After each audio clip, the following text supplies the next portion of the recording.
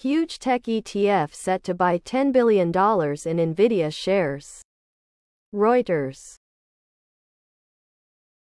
One of the world's largest technology funds is set to ramp up its exposure to Nvidia, which has become me the world's most valuable company following a blistering run in its shares.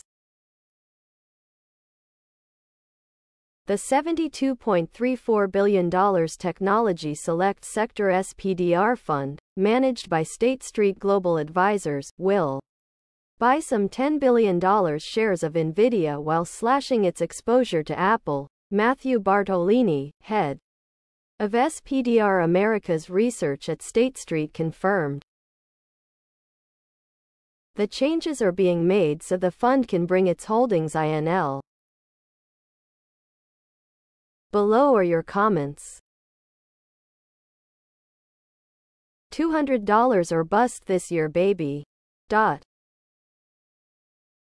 I thought Trump said the market would tank without him at the helm.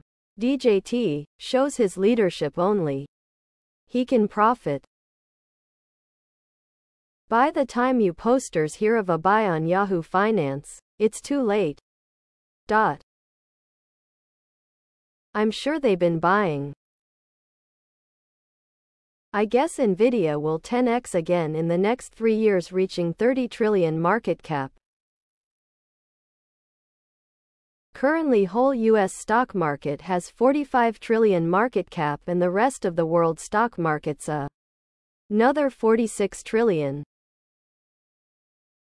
Sounds fair. Please subscribe to my channel. And if you like it, please thumbs up.